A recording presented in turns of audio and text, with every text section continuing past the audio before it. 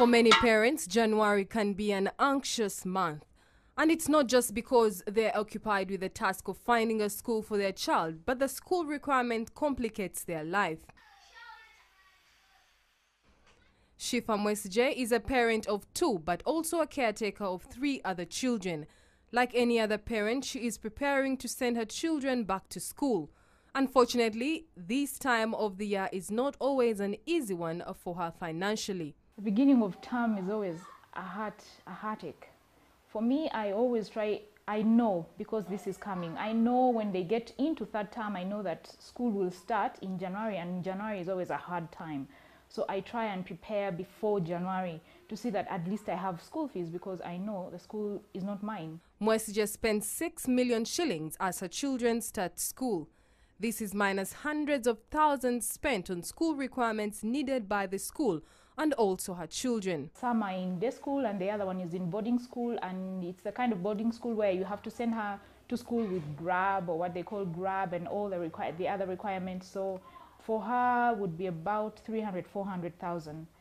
So if I add on and that is without things like a bag and these other requirements that school asks for eh, no shoes. So if I have to buy durable shoes, that's about 100,000, this 300 already. So I would say a little over a million shillings. But then it comes to the clubs. When I was in school, I didn't have to pay for drama or music or languages. I didn't have to. Now, every extra thing without what they do in class, you have to pay for it. Prior to school term opening, children normally present shopping lists to their parents, sometimes lists that take almost half of their school fees. But because of the increasing school demands, Mwesigye has had to readjust and also change the schools of her children. I have had to revise my budget and how I do things because it's just too much. I cannot keep up with my with my um, with my salary. To be honest, if I just relied on my salary, it wouldn't work. So, but neither can I sit around and say, oh my God, oh my kids are what, oh I'm so poor, my salary is not enough. Nobody cares. Your children have to go to school. So you have to find a way. So what I've had to do, like the one of the uh, the girl who is in secondary school, she was in a much more expensive school. I had to bring her to a school that I could at least afford, that was a bit cheaper. But she's also doing quite well there. I guess the environment is good for her. She's even a head girl.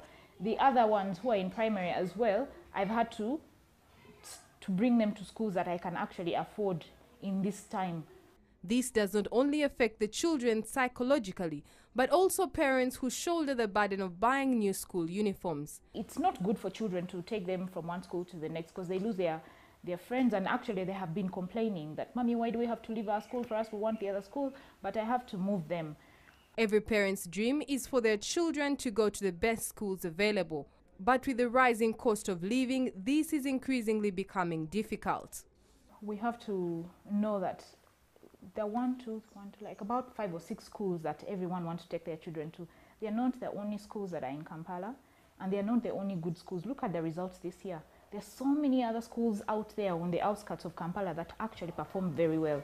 We will all end up at the same university. Shifa Mwesigye is now calling for government intervention and rein on schools or else the number of school dropouts may rise again. So I just don't understand why government is looking on as these private schools are taking us for a ride. What happened to the big, the Kitantes and Buganda roads were good performing schools. Now they've let all those teachers go to the private schools where I don't think they pay them that well anyway, but they, there they are, where they're charging us an arm and a leg, building bigger buildings and taking in, you will find a school that has a thousand students paying over a million shillings and the government is looking on. I mean, we need help. She also questions the education system regarding financing and what institutions pay and how fair it is. I don't understand why I, who is studying a master's degree at Makerere University, pays the same amount of money as a child in primary school. What are they learning? John Speke and James Grant? I mean, at least take my child to school and teach them how to make a boat. I will know that I'm paying for a technical skill, how to bake a cake. Sheila Tsime Mugisha, NBS, live at 9.